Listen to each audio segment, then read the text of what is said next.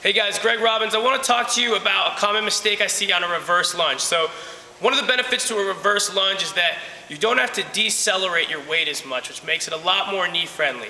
But a lot of people tend to step back, receive their weight on the back leg, and then drop down before returning up. Instead, what you want to coach people to do is step right into their lunge, keeping the majority of the weight on the front leg the entire time.